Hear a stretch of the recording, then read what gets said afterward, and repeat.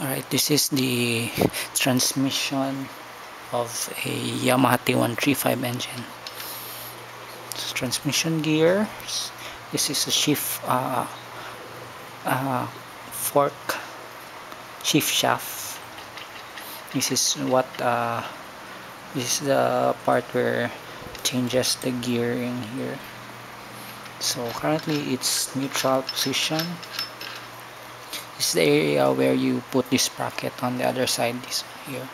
So it's in the neutral position. You will shift it to first gear. And it's now on the first gear. And then you will now proceed on the second gear. That's the second gear.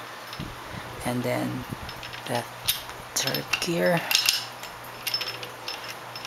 Third gear. And lastly notice here this is the fourth gear uh, gearing. This is uh, the gear where you change it from 22 teeth to 21 teeth.